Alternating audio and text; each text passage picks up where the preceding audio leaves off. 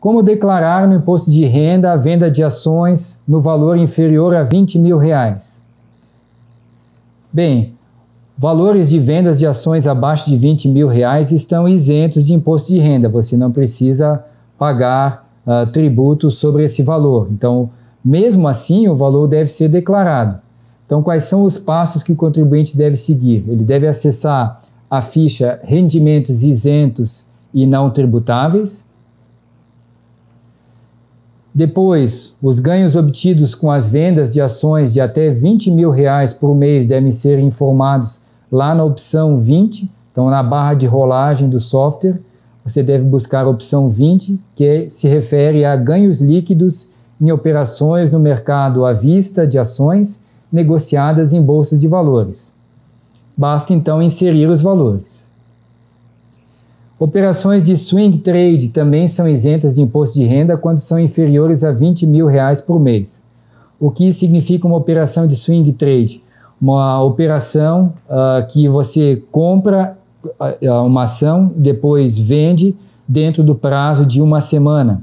Então, trade é comércio, né? Então, você fez a compra de ação por um período curto de tempo, por, uh, por uma semana.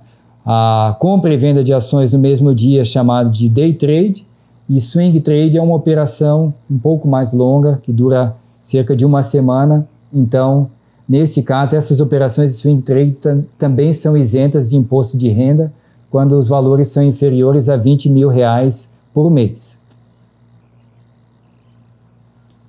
Depois, com todos os comprovantes de DARF em mãos, você deve fazer o seguinte: abra a ficha Renda Variável e lá escolha a opção Operações Comuns barra Day Trade, ou seja, engloba operações comuns de compra e venda de ações em um período maior de tempo ou compra e venda de ações dentro do mesmo período de tempo, do mesmo dia. Você deve informar também o valor do lucro ou prejuízo obtido em cada mês, separando operações comuns das operações de day trade. E no campo referente a janeiro, verifique se há prejuízos para compensar de dezembro do ano anterior. Se houver, você deve preencher o valor deles em prejuízos a compensar. Então você deve buscar por esse campo prejuízos a compensar esses prejuízos são informados com o sinal negativo.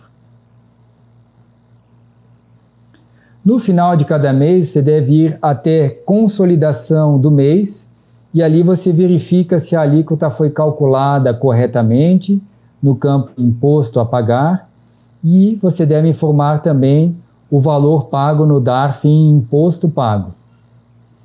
Para compensar o IR retido na fonte, você deve colocá-lo em IR fonte, baseado na lei 11033 do ano de 2004.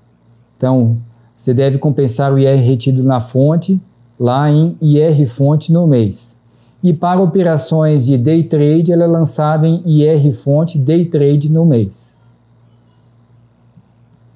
Depois de finalizar, todo o preenchimento, você deve ir até o mês de dezembro e verificar o total de imposto de renda retido na fonte. Ali constará todo o valor retido do ano. Então, você deve fazer a soma uh, dos recolhidos nas vendas acima de 20 mil reais, abaixo de 20 mil é isento, né? e a soma dos recolhidos com os day trades e informe uh, em imposto pago barra retido e imposto sobre a renda na fonte, também baseado na lei 11033 do ano de 2004. E você deve repetir esse passo a passo para todos os meses.